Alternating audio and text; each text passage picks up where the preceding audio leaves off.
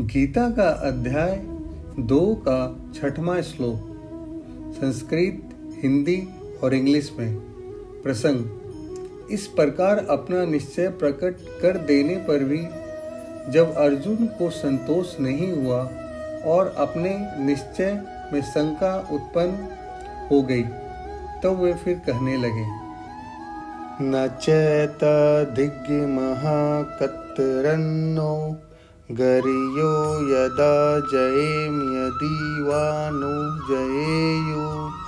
यानेव हत्वा न स्थितां परमुखे धार्तराष्ट्रा।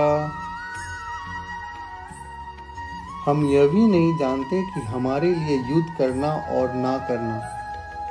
इन दोनों में से कौन सा श्रेष्ठ है? अथवा यह भी नहीं जानते कि उन्हें हम जीतेंगे या हमको वे जीतेंगे।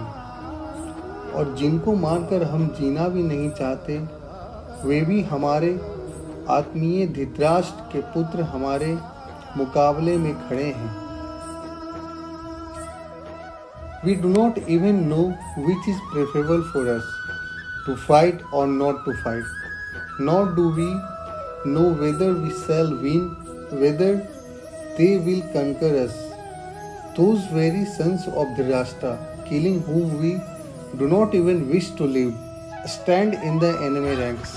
Gita के इस श्लोक को सुनने के लिए मेरे साथ बने रहें और इस चैनल को सब्सक्राइब लाइक और शेयर करें और मेरी तरफ़ से आप सभी को जय श्री राधा कृष्ण